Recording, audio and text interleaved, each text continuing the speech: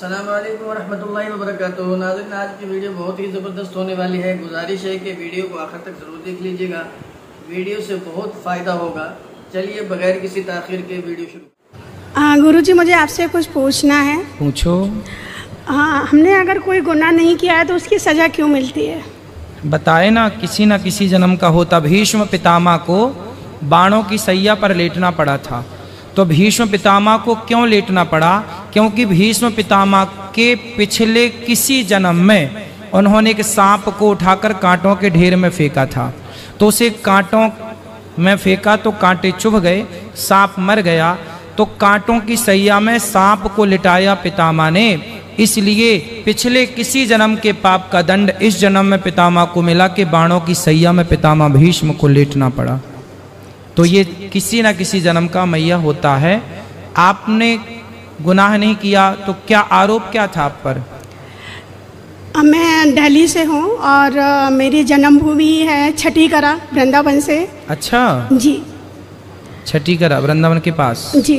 तो क्या गुनाह किया आपने? गुनाह सर मैं प्रोफेशनल से मैं आपसे झूठ नहीं बोलूँगी मैं एक डॉक्टर हूँ। हाँ। और अ, मैं अपने घर में अपने बच्चों को ही पाल रही थी।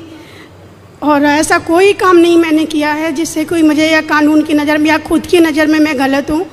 एक बच्चे को जन्म दिया और मेरी सिस्टर ने उसे एक जीवन दान दे दिया जो मर रही थी बच्ची। उस बच्ची को उसने नर्सरी में जाके रख दिया और अपनी उसे ज़िंदा कर दिया। तो हम उस आरोप में यहाँ दिल्ली से भोपाल आए हुए हैं। तो क्या आरोप हुआ फिर आप पर? सर मुझे तो नहीं पता लेकिन जो मेरे पे धाराएँ लगी हैं वो शायद अपहरण की और बच्चे बेचने खरीदने की लगी हुई है। अच्छा। ये तो बड़ा गलत है भाई। आपने जो अपराध किया ही नहीं उसका दंड भोग रहे हैं तो बहुत गलत है। मुझे ही नहीं समझ में आ रहा कि अब मैं इस चीज़ से कैसे निकलूं। तो कितने साल हो गए आपको यहाँ? नहीं अभी चार महीने हुए हैं। चार महीने हुए हैं। तो केस किसने किया आप पर? सर जिसने किया वो मुझे तो नहीं पता लेकिन ये आई थिंक भोपाल में कोई फिकारिन है उसने किया है। जी। मैं तो नहीं जानती उसे। मैं फ़र्स्ट टाइम ही भोपाल सीधी जेल ही आई हूँ मैं। चलिए भगवान आपको मुक्त करें यदि आप सही हैं तो। एक गैर मुसलमान सवाल कर रहा है तकदीर के ऊपर। फिर अल्लाह सुबहाना ताला अपनी तकदीर लिखता है तो हम अगर गलती करते हैं तो दोषी कौन? अल्लाह सुबहाना ताला अगर मैं तकदीर में लिखा है कि हम खून करेंगे और हम आदमी का खून कर लेते तो कौन जिम्मेदार? अल्लाह ताला आदमी को क्यों जिम्मेदार करने का? अगर तकदीर में लिखा है, मैं चोरी करूँगा, मैं गलत काम करूँगा, तकदीर में लिखा है क्या मैं जहन्नम में जाऊँगा तो जाऊँगा तो किसकी गलती? मेरी क्या गलती अल्लाह की गलती। और ये सवाल मुसलमान लोग भी सोचते हैं, और तकदीर पे ईमान रखना हर मुसलमान का फ़र्ज़ है। लेकिन हम पहले ये जान ले, तकदीर किसे कहते हैं? और अक्सर हम मुसलमान भी नहीं समझ पाते तकदीर का क्या मतलब है। और ऐसा कहते ओ, तकदीर में लिखा है तो मैं कर दिया। कुछ भी हुआ तो तकदीर में लिखा हुआ है। मेहनत नहीं करता हूँ मैं, वो तकदीर में लिखा है क्या मैं गरीब रहूँगा। ये तकदीर की क्या मानी होती? है अल्लाह ताला फरमाते हैं सूरह इसरा में कि जब भी एक इंसान पैदा होता है तो उसके गर्दन के गोर में उसके पूरी आत्मकथा, उसका फ्यूचर उसका भविष्य लिख लेता हूँ। मैं मैं आपको समझाने के लिए एक मिसाल पेश करता हूँ। मिसाल के तौर पे अगर एक क्लास के अंदर एक टीचर एक टीचर क्लास में पढ़ाता है और एग्जामिनेशन के पहले कहता है कि ये स्टूडेंट ये स्टूडेंट पूरे क्लास में नंबर वन आएगा, अव्वल आएगा। ये स्टूडेंट सेकेंड क्लास से पास होएगा, वो स्टूडेंट फेल हो जाएगा। मिसाल दे रहा हूँ बुरा मत लगना पैसा और एग्जामिनेशन होता है और ये स्टूडेंट फ़र्स्ट आता है, ये स्टूडेंट सेकेंड क्लास से पास होता है और ये स्टूडेंट फेल हो जाता है। मैं आपसे ये सवाल पूछता हूँ कि जो स्टूडेंट जो तालिब फेल हो गया, क्या वो कह सकता है कि क्योंकि टीचर ने कहा, मैं फेल होगा इसलिए फेल हो गया। कह सकता है? कह सकता है क्या नहीं? नहीं कह सकता। क्यों? टीचर अपने तजुर्बे से कह रहा है, ये स्टूडेंट बहुत अच्छा है, बहुत पढ़ाई करता है, इसलिए फ़र्स्ट आएगा। ये स्टूडेंट ठीक है सेकेंड क्लास ये स्टूडेंट पिक्चर देखता है क्लास ही ना अटेंड करता है इसलिए फेल होएगा। तो अपने तजुर्बे से वो भविष्य के बारे में कहता है। लेकिन वो स्टूडेंट नहीं कह सकेगा, क्योंकि टीचर ने मुझे कहा, मैं फेल होगा इसलिए फेल हो गया। दोषी कौन? वो खुद स्टूडेंट तो उसने पढ़ाई नहीं किया।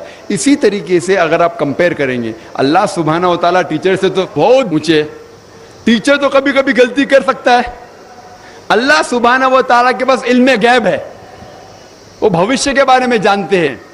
जब भी कोई काम होता है, कुछ चीज़ फिक्स्ड है। आप कहाँ पैदा होंगे, आप कब मरे, कुछ चीज़ मुकम्मल उसके अलावा अल्लाह सुबहाना व ताला ने आपको फ्री विल दिया है। फ्री विल मतलब आप जो भी चाहे चुन सकते हैं। अल्लाह ताला को हिदायत दी कुरान और हदीस में, लेकिन आपके ऊपर है, आप उसके ऊपर अमल करें नहीं करें। लेकिन अल्लाह ताला जानता है आप क्या करेंगे। मिसाल के तौर पर, आप एक रास्ते पे चल रहे हैं और एक चौराहे पे आते हैं। चार रास्ते हैं। नंबर एक, नंबर दो, नंबर तीन, नंबर चार। आप कोई भी रास्ता चुन सकते हैं। आप चुनते हैं रास्ता नंबर तीन। अल्लाह सुबहान ताला को पहले से इल्म गैब है। पहले से पता था कि आप जब चौराहे पे आएँगे, आप रास्ता नंबर तीन लेंगे। तो अल्लाह ताला पहले से लिख लेता है कि आप रास्ता नंबर तीन चुनेंगे। क्योंकि अल्लाह ताला ने लिखा, इसलिए आप नहीं चुन रहे, क्योंकि आप चुनने वाले थे, अल्लाह ताला ने लिखा। इसे कहते इल्म गैब। अल्लाह सुबहाना होता है इल्म गैब है। अल्लाह ताला को पहले से पता था कि आप नंबर तीन चुनेंगे। और अल्लाह ताला तकदीर में लिख दिया कि आप नंबर तीन रास्ता चुनेंगे। क्योंकि अल्लाह ताला ने लिखा, इसलिए आप तीन नहीं चुन रहे। क्योंकि आप चुनने वाले थे, अल्लाह ने लिखा। और एक मिसाल पेश करता हूँ। आपने दसवीं पास की, बारहवीं पास की।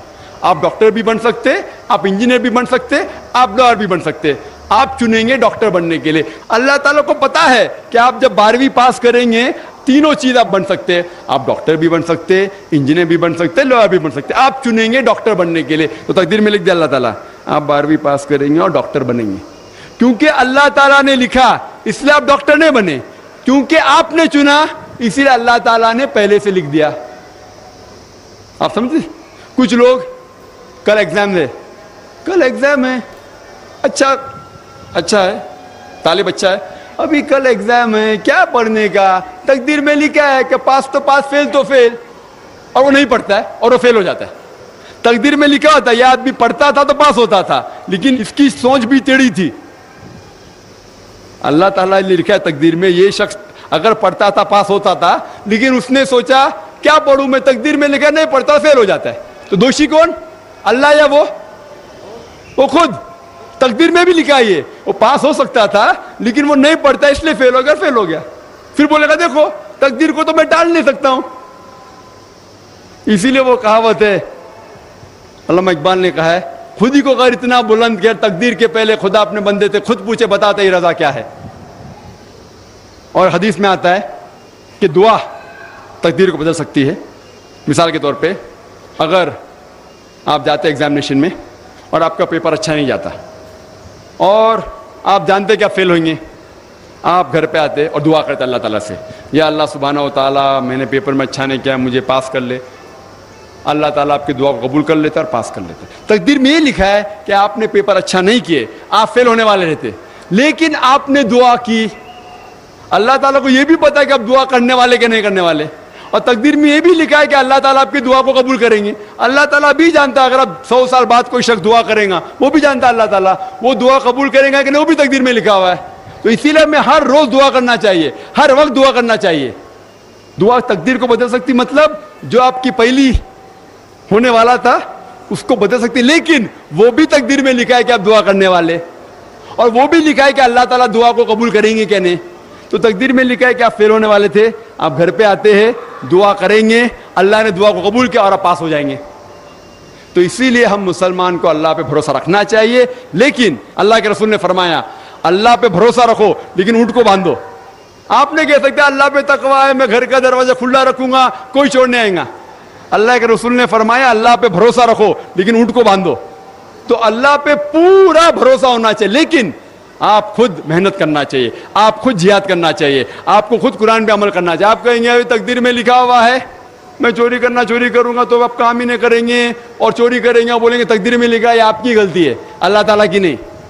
तो आपको हर वक्त जिद्दोजहद करना चाहिए, अच्छे काम के लिए, कुरान को समझ के पढ़ो और अमल करो।